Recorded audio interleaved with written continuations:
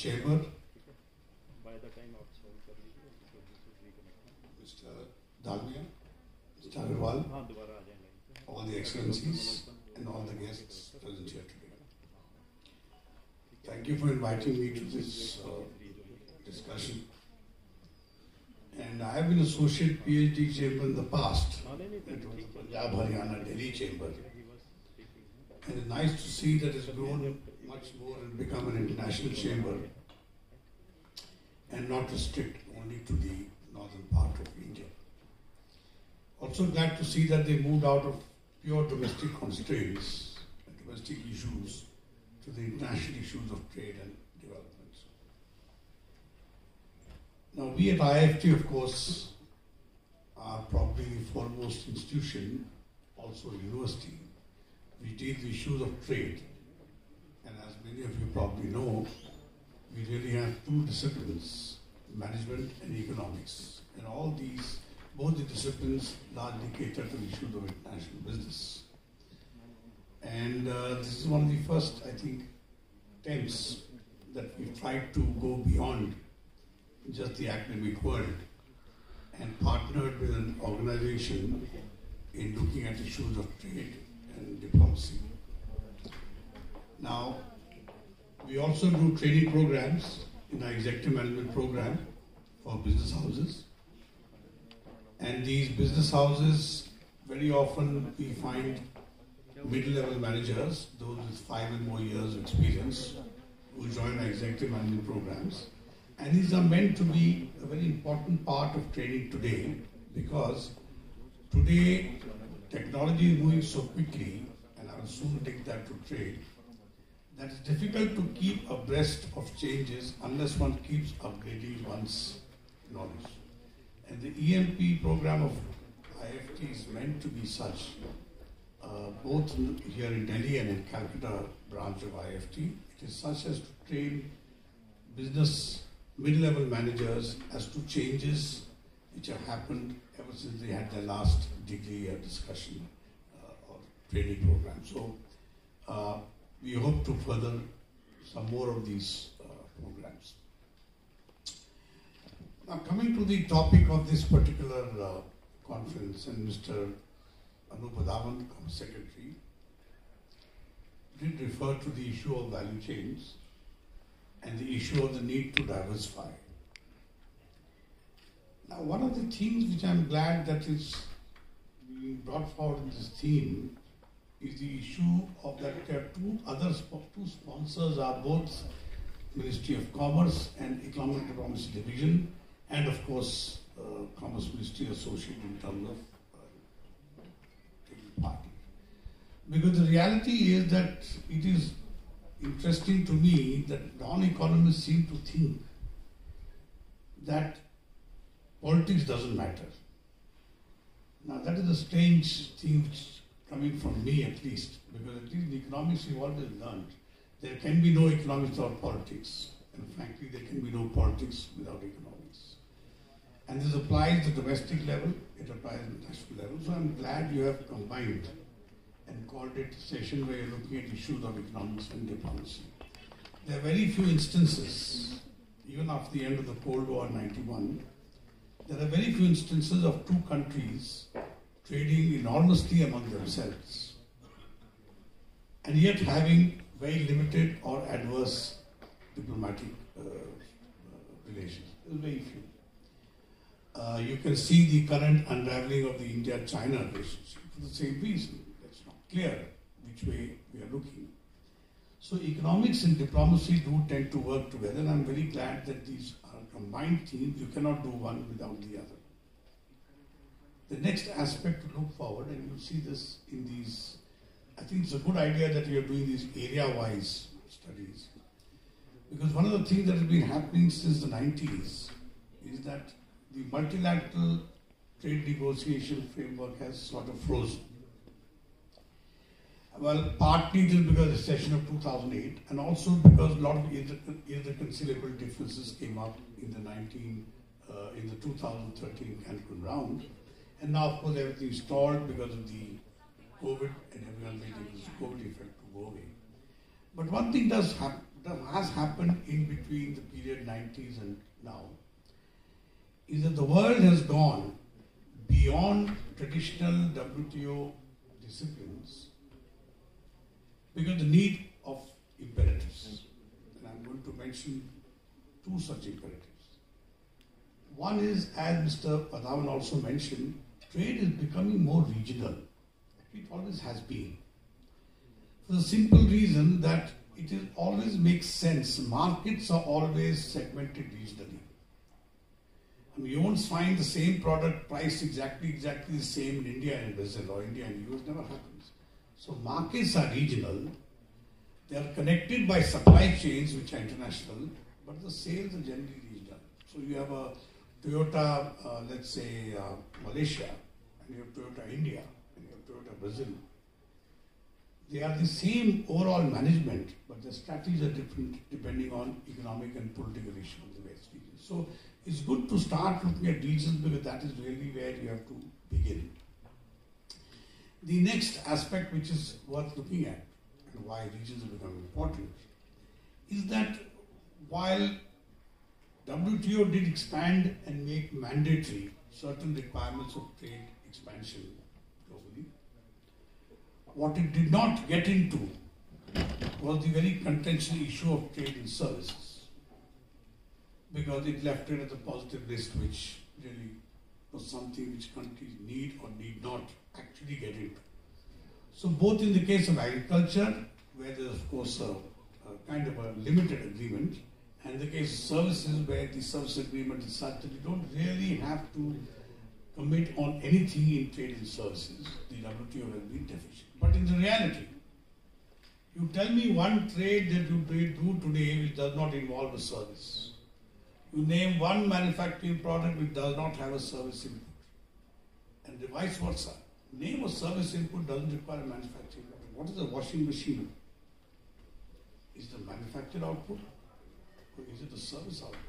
Does it require service side inputs? And today, ITES, or what are called, uh, uh, if you want to call it, uh, trade enabled services, international trade in uh, enabled services, IT enabled services, information technology enabled services, has become the most important. Very difficult to categorize. And there are some attempts by OECD in the TIVA database and others trying to categorize. India, by the way, is the slowest in categorizing the data on uh, trading, uh, trading and services. Very surprising. But the attempts at categorizing these trade and services have shown that actually, if you try to look at what are called services embedded or service enabled trade, it's almost 50% of the world today. Now look at two factors which are true. Roughly about 70 to 75% of world trade is trade between companies. That means between subsidiaries of transnational companies. And transnational companies can be very small, like the ones from Switzerland and Taiwan. So roughly about 75% of world trade is trade in uh, what you might have called uh. And trade also in uh, parts, components and services. And the other thing is roughly about 50% of world trade is in products which have what you might call the ITES products, information technology embodied services. The way things are going, very soon there will be no product which will not be called a service product or a service product not called a manufactured product. This distinction is going to break down. And now that you have IoT, Internet of Things, the breakdown or distinction between manufacturing and services is going to fade completely. Why is that important? Because the whole build up to the WTO in 95 was based on the premise that you have these three categories of products agriculture, industry, and services.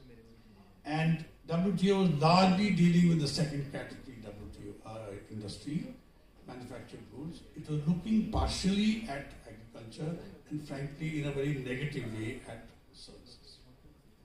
So the whole nature of trade has changed. And as you know, it is not countries who trade, it is companies who trade. Country, countries can only facilitate trade, they can't actually trade. It's only companies. So it's need to move beyond WTO disciplines, and that's my second point I'm making, comes up in the emergence of regional trading arrangements or what WTO they call PTAs, preferential trading arrangements. Which is why almost all trade today is concentrated on some PTA or the other. Whether it is the big, the USA, China, well, India at least geographically and number one is big, or whether is small minions like, you know, what you want to call Belgium, Netherlands, small country like Hong Kong, Singapore, everyone is getting into some regional trading arrangements. Uh, Professor Jagdish of course, I'm sure you all heard of him, well-known trade theorist, has talked about the spaghetti bowl of. Uh, there's so many, and I, I've looked at some, many actually. Look at look at the African countries. You lose track of who's having a trade against who. We don't have that many in South Asia, but Africa and Latin America, Africa in particular, the African continent, is a complete, uh, I would say, a mess of RTAs. Everyone has a PTA with someone or the other, some are full parts. but there is one more aspect. I'm going to come back to the main theme of this. What this PTA is also doing, they're not only allowing you to go into areas beyond just manufacturers, but they're also allowing people to talk to others on other issues. If you want to call it diplomacy by other means. So this PTA is also diplomacy by other means. Now, is that a good thing? Is it a bad thing? No, I don't want to comment on that, but it is diplomacy by other means. The difference between 90s and today, in the post-COVID COVID is, economics is now beginning to dominate. It's beginning to difficult to sell anymore a PTA which is purely a diplomatic. You know, like SAARC was a purely diplomatic PTA. That very little economic gains for India, but a very important, critical, I would say, part of India's diplomatic effort. So, keeping the link between the two, but recognizing that economics is dominant is critical, but and all, but still understanding that regions are getting more critical than the multilateral fora is what I would like to uh, sort of try to point out. Let me end by saying that in this discussion, where does it leave India? And I'm going to again come back to the point I mentioned that the nature of trade has overtaken the nature of multilateral institutions like WTO. And service is the one area. let me just give you one number, and people keep saying, why do you keep harping on service? What about manufacturing? First of all, there is no such thing as manufacturing alone. And secondly, the services, discussing services, trade liberalization, discussing